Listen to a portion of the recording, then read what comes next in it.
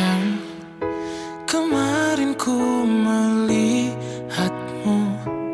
Kau bertemu dengannya.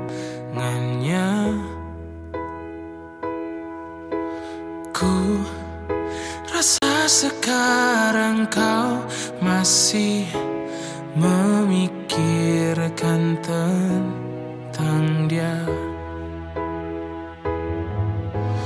Apa ku